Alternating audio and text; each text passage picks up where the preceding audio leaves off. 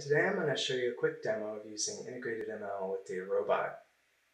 So IntegratedML is a new feature of InterSystems Iris that allows you to build and use machine learning models using elegant SQL syntax. So let's take a look. We have here a SQL editor, dbeaver, and I'm connected to an InterSystems Iris instance. Uh, and we're looking at a particular table that we're going to build a machine learning model from this data.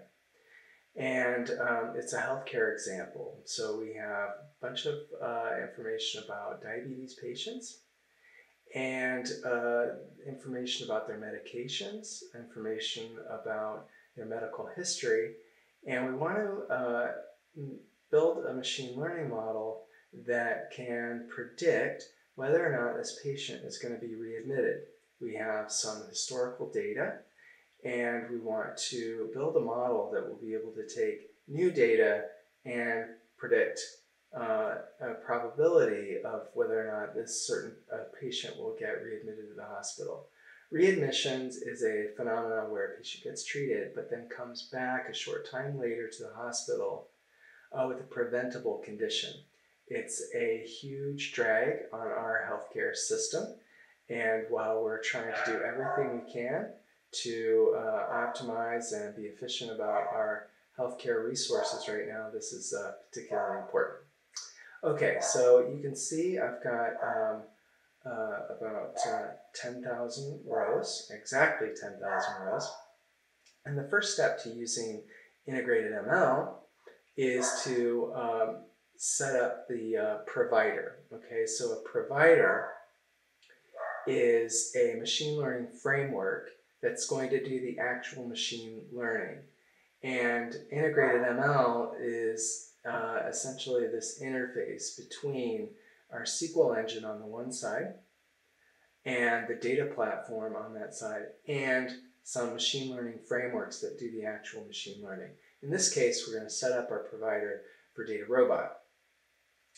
So how you do that, uh, we'll switch over here to DataRobot. Um, you go up to uh, this upper right and you can click Developer Tools and there you can copy uh, one of your, you can make and then copy uh, API key.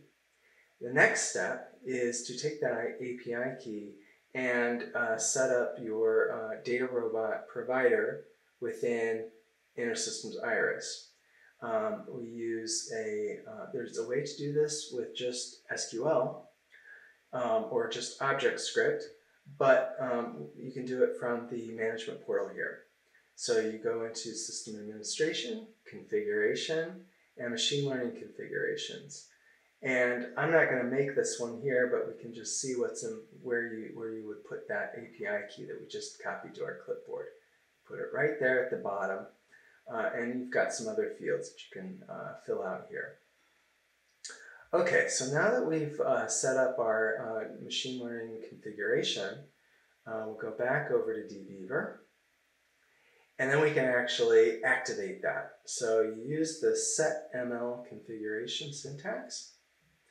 Uh, once you do that, then all of the machine learning commands that you issue through your SQL are going to use um, DataRobot.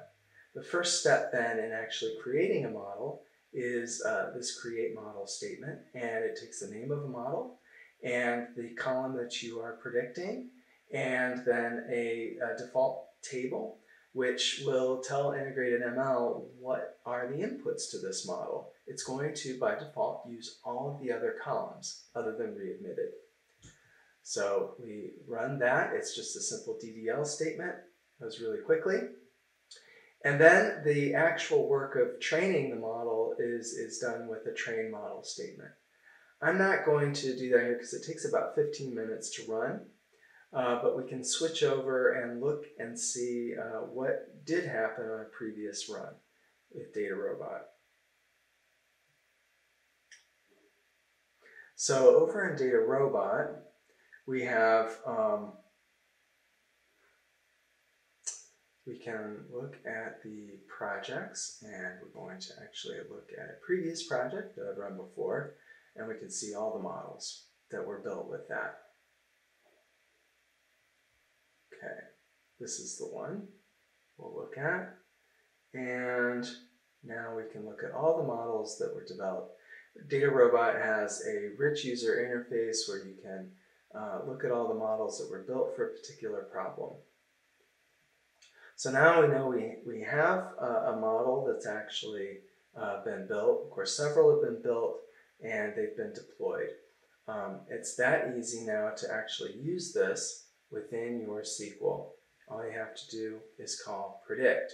And here I've got a very interesting uh, query that we're running. So here you can see uh, a, a, query you can use to actually use that model that was built in DataRobot. Uh, here I'm going to call predict, which actually invokes a model, but I'm also going to call this other function probability, which not only, uh, you know, predict gives the Boolean a yes or no, whether this patient is predicted to be readmitted, but probability gives you a little information about the confidence the model has. The other parts of this query that's interesting is that you can put this predict statement anywhere in your query.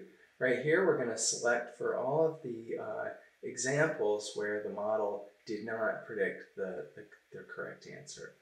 So all I have to do is run this query and it goes out to DataRobot, invokes that model, puts it all together, and then this is a very simple uh, way that you could potentially use this within your own applications.